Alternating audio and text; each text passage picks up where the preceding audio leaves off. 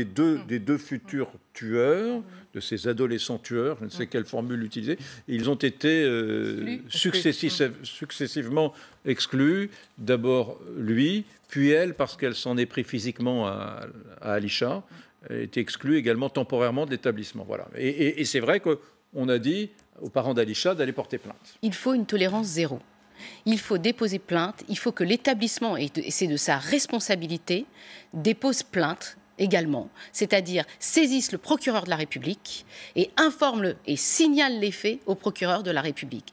Il y a une partie, vous savez, c'est comme dans tout, il y a une partie de préventif, d'éducatif, c'est-à-dire qu'il faut réunir cette jeunesse, il faut leur apprendre les choses, il faut éviter que euh, les agissements se traduisent par de la violence et pour cela mettre des mots sur des problématiques, ne pas mettre de tabou sur des sentiments, des ressentiments, expliquer ces faire des formations. Vous disiez, madame, que vous mm.